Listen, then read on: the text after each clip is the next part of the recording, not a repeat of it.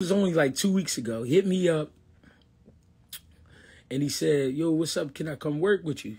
I said, Yeah, you know I mean? Just let me know what's up. I'm like, Where you at? He like, I'm in Michigan. He, come down, would it be cool? Ron Gotti. Joe, what's up, Joe? How you feeling?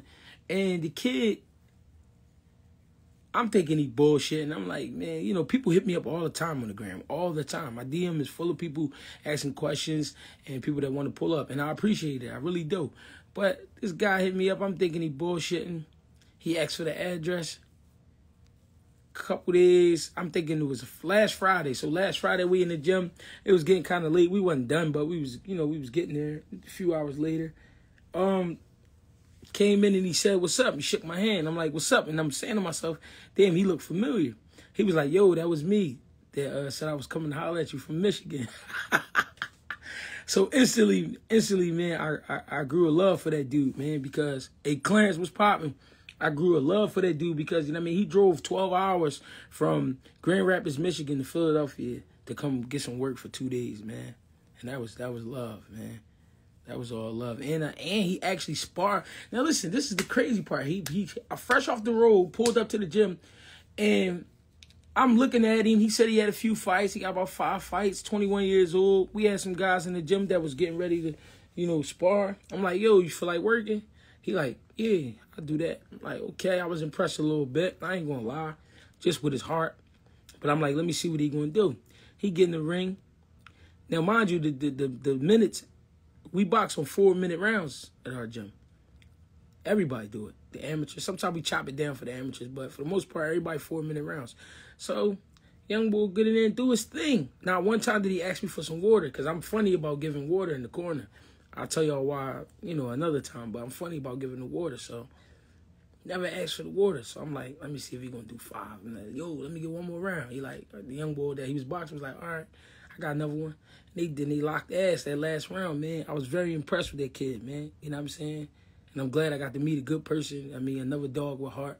You know what I'm saying? Only thing I don't like about the kids is dreads. I need them to cut the dreads off. That's the only thing I don't like. Everything else, he's very coachable. You know I mean? He pays attention. And you know what I'm saying? He's consistent. He want to work. You know what I mean? And uh, you got to love a guy like that. I'm curious to see if this time spent with his trainer if he's learned anything about himself. He's had so many amateur fights and his style is so formed. I think it'll be interesting. Yeah, that's true. That's a great that's a great observation. You know what I'm saying? A great question. But we'll see this weekend. Yeah, I mean, I heard Triple G is fighting in Japan too. That should be major. What's wrong with dreads? They get in the way. They get in the way. It's a lot of doing like this and trying to get the trying to get the hair out of your eyes and just cut that shit off. You know what I mean? I'm not against dreads, but for fighters, I'm against dreads. And it adds a little more weight to you, believe it or not. You cut that shit off, you know what I'm saying? Make weight easily. Rosado Mosley Jr. Great fight. Um, I'm glad that fight got made. Um, Mosley Jr. lost his, lost his last fight against uh, Quigley, the Irish Olympian. But it was a great fight. I seen that kid dig deep and pull some things out of himself that I didn't think he had. Now he's fighting the warrior of all warriors, Gabriel Rosado. Gabriel Rosado, we already know he ain't backing down. He'll box you. He'll fight you. He'll do whatever.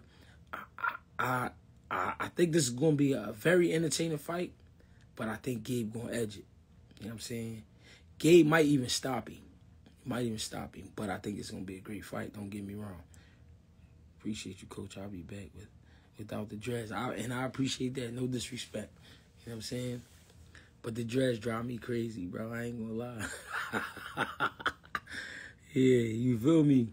So I get money, but fuck it, here verse. up every day, trying to make a no way. Cap. Bro said it's ever beef, he gon' grab that K. Two mans in the summer, shout out my nigga Day. Sick, bro, hit your bitch, shout out my nigga Zay. Montage bands off them grounds, that was back in May. Riding backseat with no plays, man, you niggas gay. Bro, want a couple P's, meet me at the bay. If you try some dumb shit, leave a white boy gray. I'm really different with this shit, if I up, I spray. Gang. Hey, TMM shit, nigga, y'all know what it is. Hey, hey, TLLTYP shit, bitch. TLLTYP shit, bitch. Hey, hey.